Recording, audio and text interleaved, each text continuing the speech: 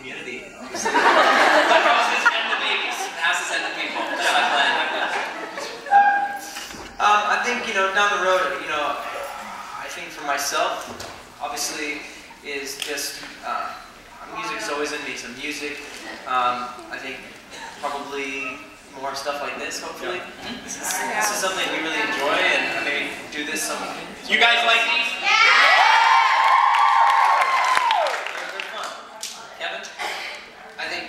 as much as that is a joke, I think I will be building things and building houses and you know, hopefully more kids. But I guess I just have to say like a really big thank you as well to like the fans that have you know been with us for such a long time and knew all.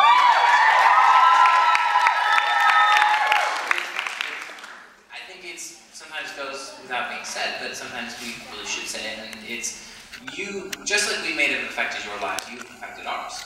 And you have been a part of our life. You have influenced, you have helped create who we are as people today. And we would not be the same without you. So, you know, we are thankful what that is. Oh, I thought you were just happy with what I'm saying. No, but on a serious note, thank you. It really does mean a lot. Thank you. Um, what I think is amazing is having known them before you all showed up. Found a piece of popcorn, Rob. Uh,